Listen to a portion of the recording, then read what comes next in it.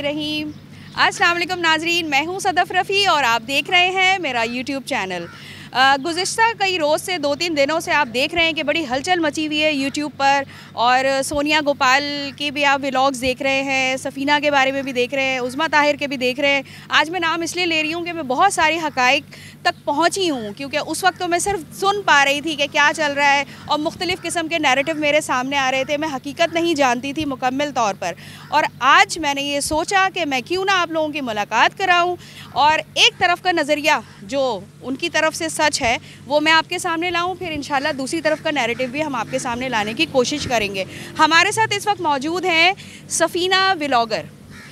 अस्सलाम वालेकुम। वालेकुम अस्सलाम। अच्छा सफ़ीना आपको तो मालूम है आप इस इन दिनों क्या फेस कर रही हैं? आपसे ढकी छुपी तो कोई कहानी नहीं है कि दूसरी तरफ़ क्या कहानी चल रही है और आपकी अपनी, लेकिन जो बहुत सारे यूट्यूबर्स हैं, वो उनको सपोर्ट कर रहे हैं। दूसरी पार्टी को सपोर्ट कर रहे हैं और गोपाल को कह रहे हैं, जी, उन्होंने माफ़ी मांग ली है तो प्लीज़ आप उनको माफ़ कर दें। हम लोग क्या सोचते हैं? और सोसाइटी के लिए क्या आप मैसेज देंगी? वो तो एक बात की बात है, लेकिन हम ये ज़रूर चाहेंगे कि असल कहानी है क्या? वो मुद्दा क्या था कि बात यहाँ से यहाँ तक पहुँची? कि इस इस नहेज तक पहुँच गई कि एक डिबेट बन गई है। तो हम ज़रूर ये चाहेंगे कि आप हमें बताएँ अपने अल्फाजों में कि असल कहानी क्या थी।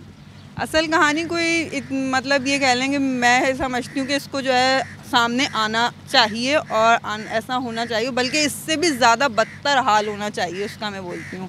क्योंकि जो है ना वो एक जो है ये कह लें सबके सामने एक बहुत बड़ी सेलिब्रिटी बने हुए थे वो दोनों।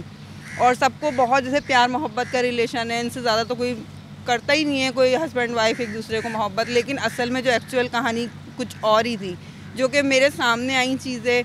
मैंने तो जस्ट एक जो है प्रमोशन के लिए कांटेक्ट किया था, लेकिन वो प्रमोशन से दोस्ती दोस्ती से फिर वो कुछ और और फिर कुछ और से वो कुछ ज़्यादा ही अब हद पार होने लगी ना तो फिर मैंने इनकी वाइफ से ना कांटेक्ट किया कि भाई ऐसे आपके साथ कुछ मसले मसाइल हैं आपके हस्बैंड मुझे ऐसी कंप्लेन कर अच्छा एक और चीज़ के यहाँ पे इस चीज़ में भी बड़ा तजाद आ रहा है कि कुछ लोगों का कहना है कि जी उनकी बेगम से मिली और बेगम ने उनको अप्रोच किया कि कोई बात नहीं अगर दोस्ती की तो आप ये भी वजाहत दीजिए हमारे देखने वाले नाजरीन को कि आपकी उनसे कभी मुलाकात हुई या नहीं हुई।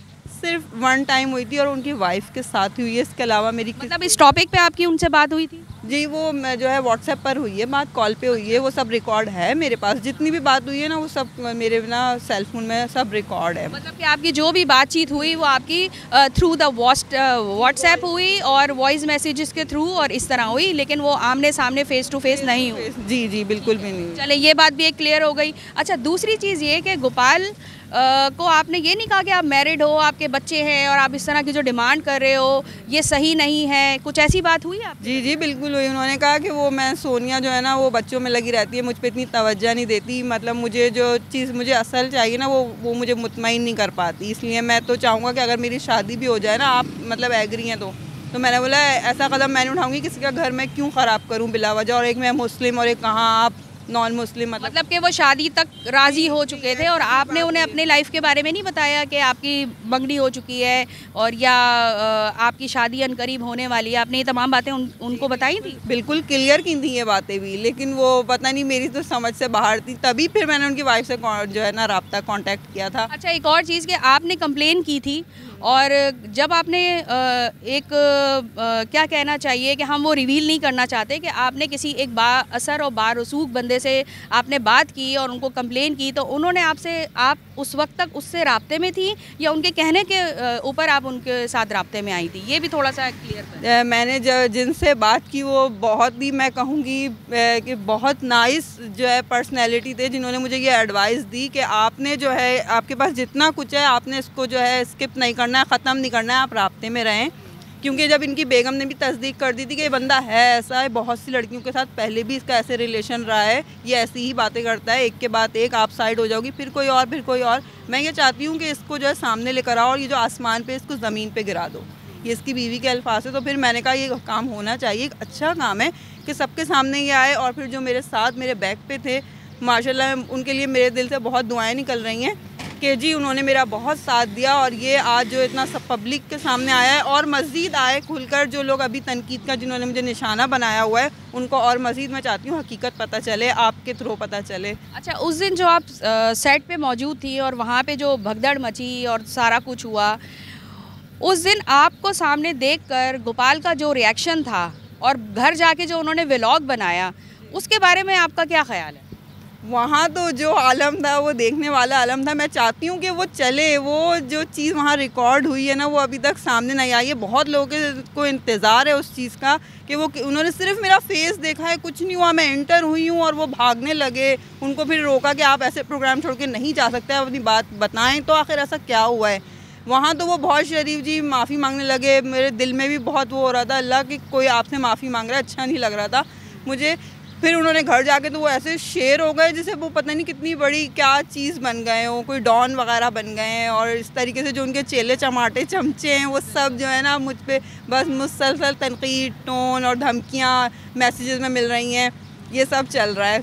अच्छा हमारा यहाँ पे ना एक ट्रेंड बन गया है कि अगर सोशल मीडिया पे कोई आता है तो बस उसको या तो किसी कंट्रोवर्सी का हिस्सा बनना होता है, अपने टैलेंट और अपनी मेहनत के ज़रिए बहुत ही कम लोग हैं जो आगे आते हैं। तो आपको क्या लगता है कि हमारी जो मेजॉरिटी है जितने भी हमारे देखने वाले हैं उनको आ, ये ये नहज पे चलना चाहिए कि कंट्रोवर्सी हो तो आपका चैनल का मतलब कामयाब होगा और आप दूसरा बंदा अगर अपनी इज़्ज़त गवाता है कोई आवाज़ उठाता है तो आपने उस बंदे को सपोर्ट करने के बजाय उस अगेंस्ट बंदे को सपोर्ट करना है जिसको जो सज़ा का हकदार है।